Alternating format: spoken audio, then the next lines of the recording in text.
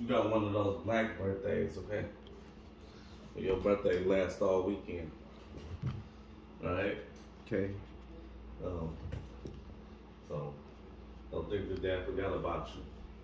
Plus, you're getting older, you know what I'm saying?